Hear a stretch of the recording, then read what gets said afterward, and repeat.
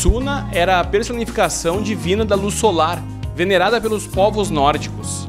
E foi por causa desta referência ao sol que o artista plástico Rafael Barleta decidiu dar o nome desta deusa à sua série de pinturas e desenhos que estão expostos na Casa das Artes Regina Simones.